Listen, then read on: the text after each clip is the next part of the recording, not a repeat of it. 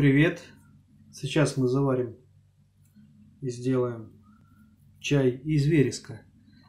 Вот такой классный пучок.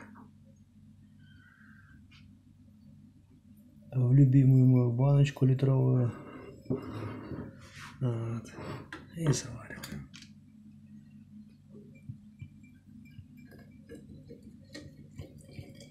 Прежде банку нужно кипятком обдать, чтобы она не лопнула. Ну, как-то так.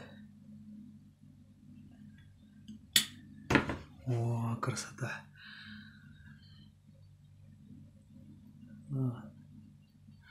Если чувствуете, что заварка крепкая, разбавляйте просто кипяченой водой и можно пить. Я пью прямо из банки. Из банки, ну, наливаю в кружку там и так далее. Все.